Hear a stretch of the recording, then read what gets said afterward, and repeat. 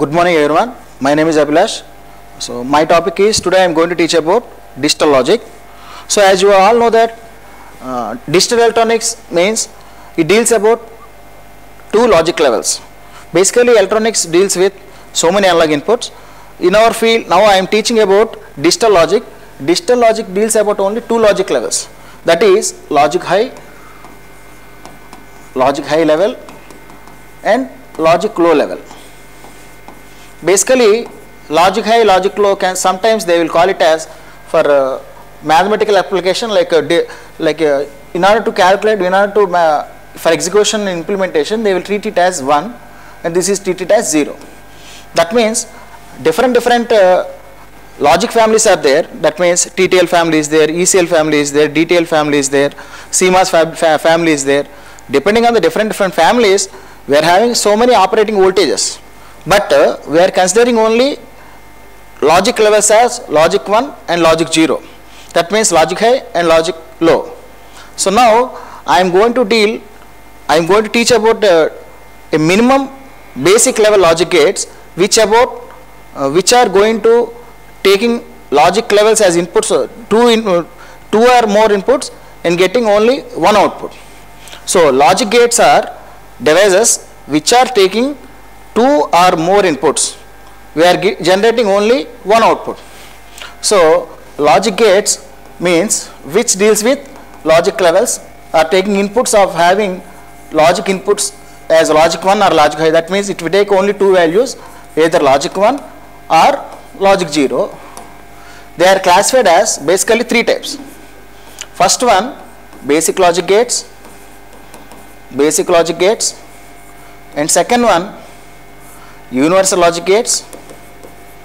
Universal logic gates? Basic logic gates? Universal logic gates? And third category special logic gates. Special logic gates. Totally a gate means we are having n number of inputs maybe two inputs three inputs or n number of inputs but only one output for example for example i am considering one AND gate. Anyhow i will explain AND gate. Here i am taking two inputs a b. These two what are giving from the this this side is called input side and this is called output side. The basic rule the basic rule for every logic logic gate is here number of inputs is 1 2 up to n 1 2 up to n but output should be only 1 output is 1 that means a logic gate the basic rule of a logic gate is inputs are 1 to n no not not an issue but output should be only 1 that is a basic definition of a logic gate so this logic gate only deals with logic levels logic high and logic low and this is a classification of the logic gates basic logic gates universal logic gates and special logic gates. That means these three consist of or all logic gates are classified as three types. Now in the next category i am going to teach about basic logic gates. Here in basic logic gates we are having three main categories. Basic logic gates. In basic logic gates we are having three categories. First one AND gate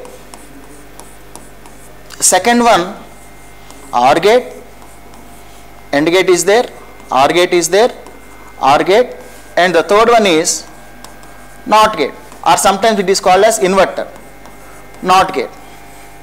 It is also called as inverter. So now these three are called as basic gates and uh, universal gates means universal gates. Universal logic gates means NAND and NOR gates. So universal logic gate these are two gates.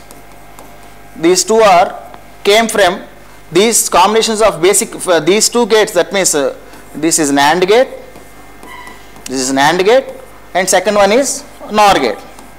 So as you can see here AND plus NOT is called AND gate and OR plus NOT is called as NOR gates. But uh, already have seen in basic logic gates you are getting this uh, AND or NOT same name AND plus NOT is NAND, OR plus NOT is NOR.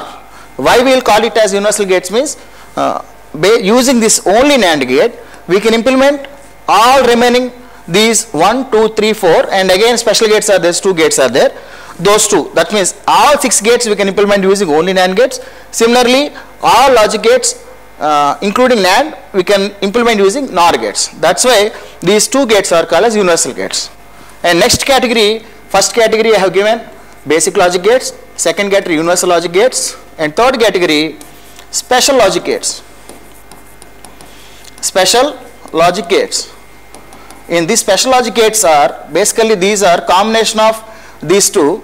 In this first category is XOR gate. First category is XOR gate, XOR logic gate, XOR logic gate and second one is XNOR, XNOR logic gate. That means basically we are having 1, 2, 3 basic gates and 2 universal gates and 3 and 2 special gates. Totally we are having 3, 2 and 2 having 7 logic gates. Depending on the their process we are having 7 types of different logic gates. So in the next class I will discuss about briefly about each and every logic gate. Okay, thank you.